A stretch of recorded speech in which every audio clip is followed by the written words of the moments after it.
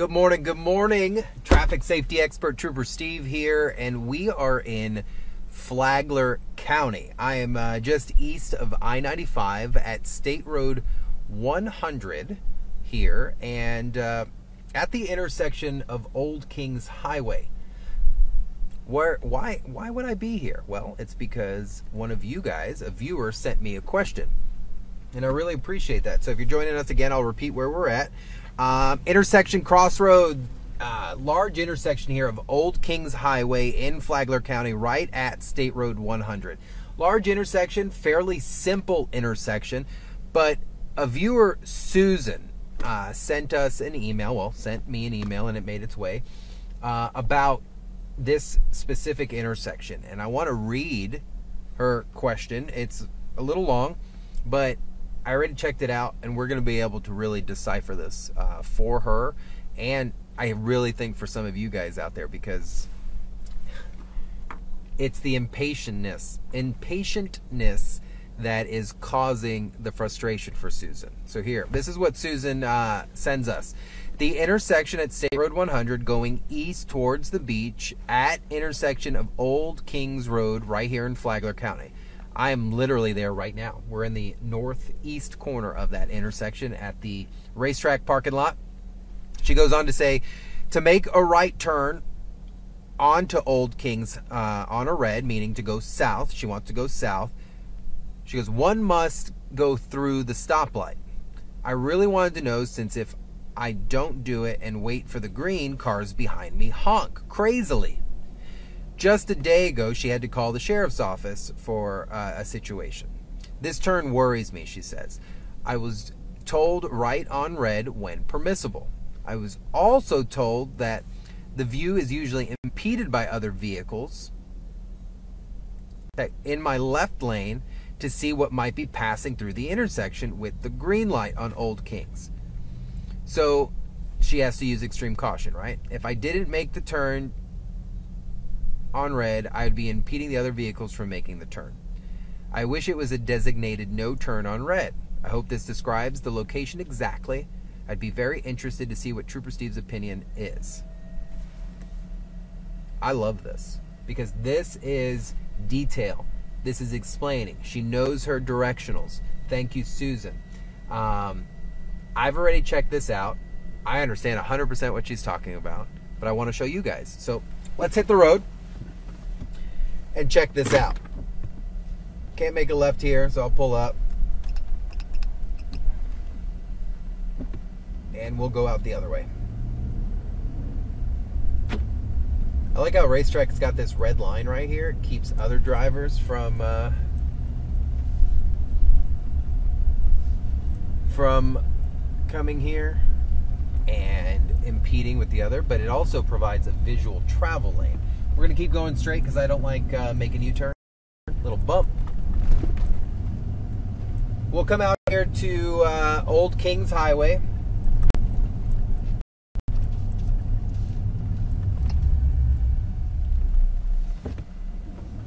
My goodness, they don't want you making any turns around this place. All right, let's go to make a U-turn anyway. Nice truck. All right, so we're gonna make a U-turn, head south on Kings Highway here, Old Kings Highway. I always say Kings Highway because there's one in Kissimmee where I grew up. Nice U-turn.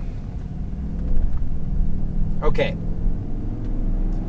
So we're southbound on Kings Highway right now. This is not exactly where she was talking, but it is the intersection up here. And you've got to look for signage. So right turn must turn right. We're in this right. I'm here, dedicated. So this is not the problem, right? Because there is signage along the roadway that says, hey, this is the lane to go right. So you're going to pull up, you're going to come here. There's a yield sign. You don't have to make a complete stop. You're to look. Is anyone making a U-turn? No? All right, I'm going to go. All right, this is where Susan, our friend, our viewer, is uh, talking about. We're going to pull a U turn here. I'm to pull off to the side. Maybe there's some space. And I think we might actually get out and check this one out because I understand everybody else's complaint, but I'm a Susan fan. I'm a big believer if someone does not feel comfortable to make a right hand turn, they're not required to. They could sit there till that light turns green or until they feel it's safe to do so. You don't know what that person's seeing on their left hand side, it could be completely blocked. Go, go, go. Come on, come on, come on. Please, let's go. All right. Thank you very much. Okay. Person's talking about, I'm going to pull over into the shoulder here just for a second because I don't want to miss this. All right. So we're here on the shoulder. We are facing the direction that Susan's talking about. This is going to be eastbound State Road 100 we are looking at Old Kings Highway. Susan's question was very clear. See where that car is way out in front there in the far right? So if you stop where you're required to stop, then you are stopping in a place to where you almost cannot completely see the southbound lanes of Old Kings Highway. So, what does that mean? Meaning, the stop bar is there. The light is the light's red. What are you going to do? You're going to stop at that stop bar. If your intention is to make a right turn like that vehicle way out there is, you can do so if you feel safe to do so. It is not up to the other cars behind you to determine whether or not you make that right turn. Now, if an emergency vehicle is coming, obviously you need to move out of their way.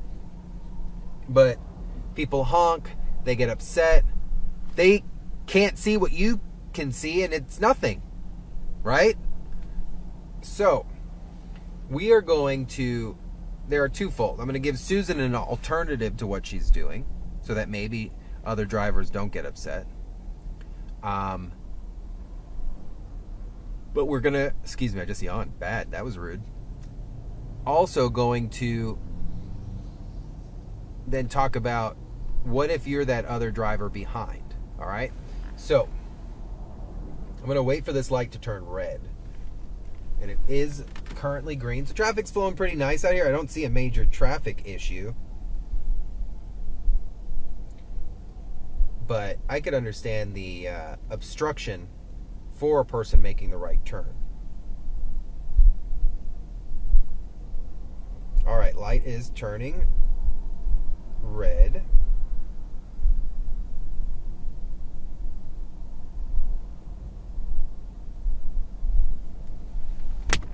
Okay, the light is red.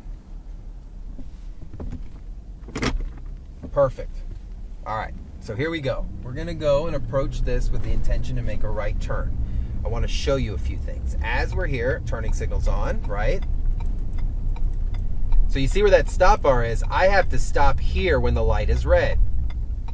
But if I stop here, I cannot see what's coming further. Now, Susan has an option. She could stay here. Or, now that you've made it the complete stop, you are allowed to pull forward. See, is it clear? Is it clear? To me, it's looking pretty clear. I see that BMW. All right, I'm going.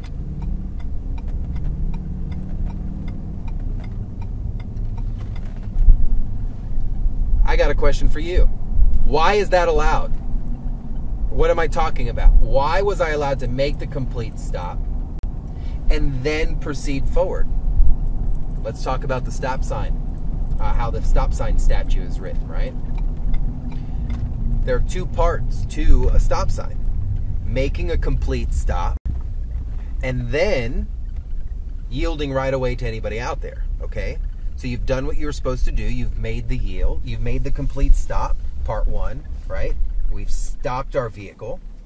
But then you're required, then you're allowed to proceed forward to yield right. Because the stop sign is not meant to sit there permanently, right?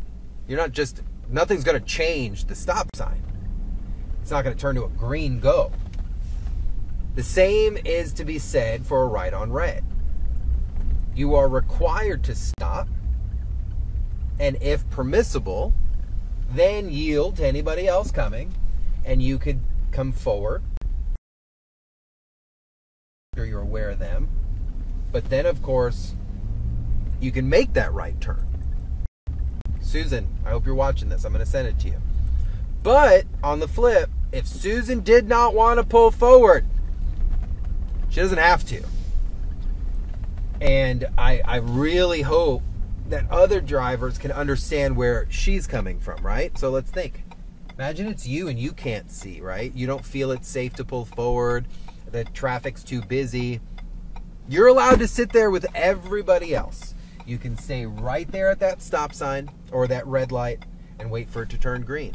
Nothing says mandatory, required, do this now, okay?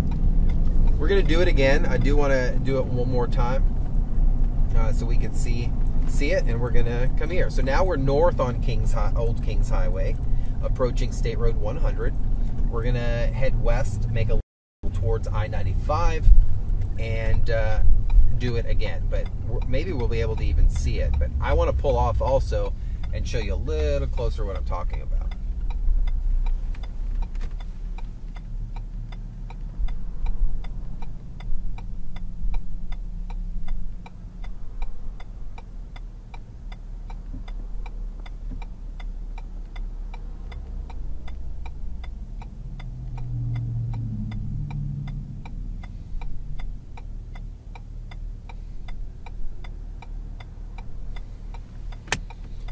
So if you're joining us this morning, I am way up in Flagler County, State Road 100 at Old Kings Highway. And we're talking about eastbound traffic out here on State Road 100. Not a bad intersection. People are driving actually really nice. I enjoy any time up here in Flagler. And but it's the right turn to head south on Old Kings Highway here because the intersection's kind of pushed back there. So if you're trying to make that right on red, sometimes your vision there is obstructed by other vehicles. So Susan, a viewer that lives up here, sent a message asking, "Hey, am I required to make that red? I have cars honking on me at me, makes me uh, uh, really nervous to be out here, and I totally understand what she's talking about." So uh, we were able to do it once just a second ago. We're going to do it again for you because it is it's a great opportunity for all of us to really learn. One, as other drivers, if someone is at a red and doesn't want to make the right, guess what? They're not required to do it. It is only if a driver feels safe to do that, okay? But I want to give you, as a driver, the okay, what am I allowed to do, right? So here, we're eastbound on State Road 100, approaching Old Kings Road. I have to make a complete stop, right? The light is red at the stop bar. But when I stop at this stop bar, look, I can't see anything coming south on Old Kings Highway, but I'm allowed to make the right turn. So I'm going to pull forward a little bit. I'm going to check, see what traffic looks like. Traffic appears to be pretty clear. I'm going to go ahead and make my right turn.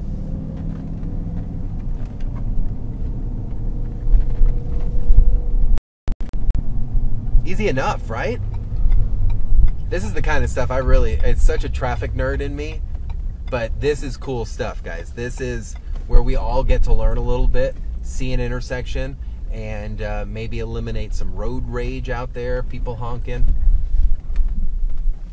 Go ahead, people just walking out in the parking lot here. Sorry, sir. You got to be careful too, sir. All right. So, look, whenever you guys are walking, I'm always looking, so I'm going to stop. But walking in between cars can be dangerous, so you got to be careful with that. Other people are driving maybe too fast, so just be cautious. All right, so I'm going to pull right over here. And we're going to get out because I want to show it to you. Why?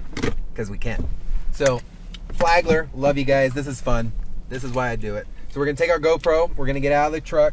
We're gonna go see what's going on uh, out there firsthand, just so I could show it to you and talk you through it a little bit, and then we'll wrap this up.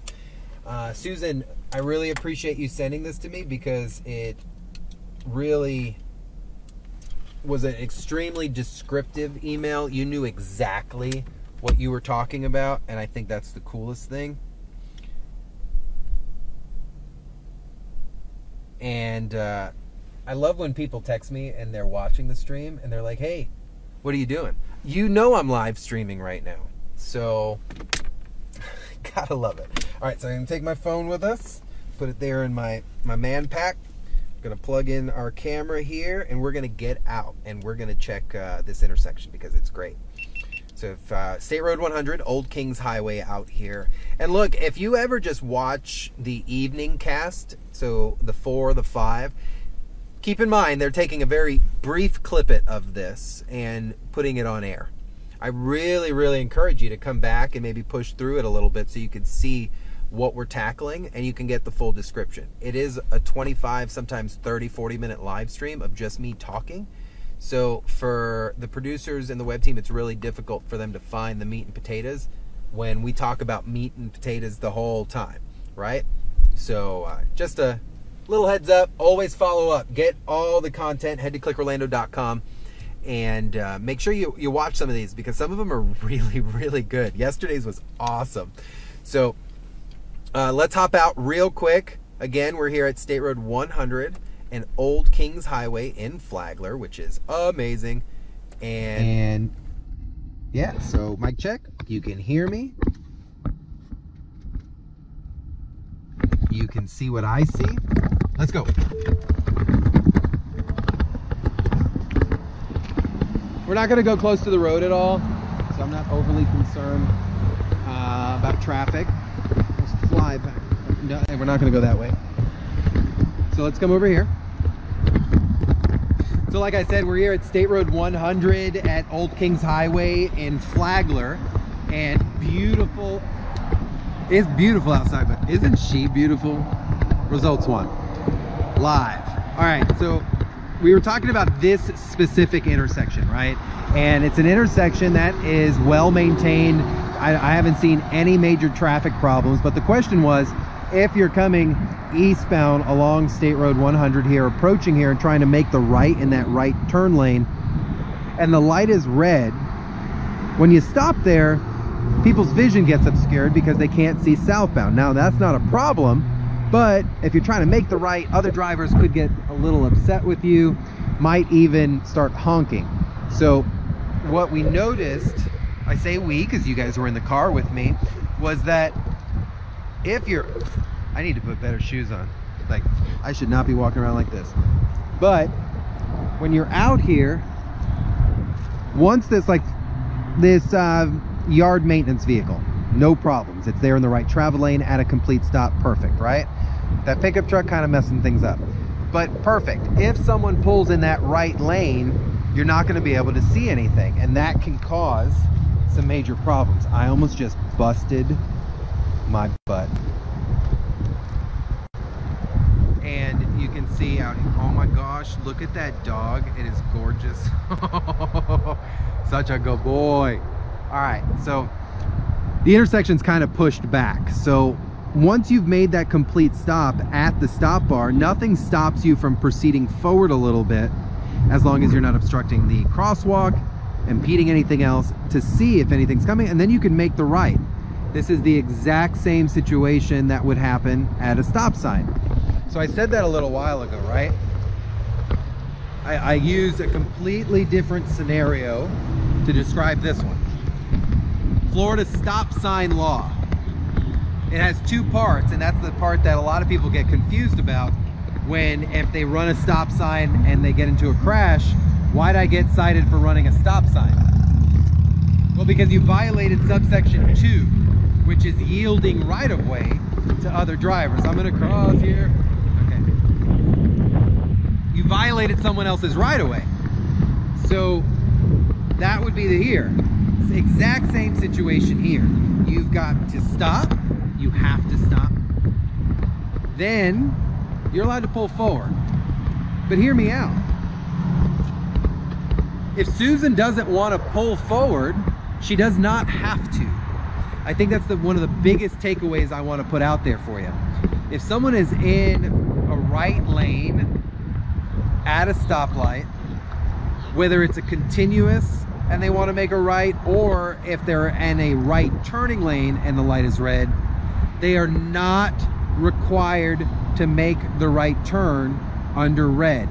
It is just permissible. It is allowed for that driver. Now, I get, well, why can't they just do it? Maybe they can't see. One day you might be in that position and it's something we've got to think about. Let's get back in the truck.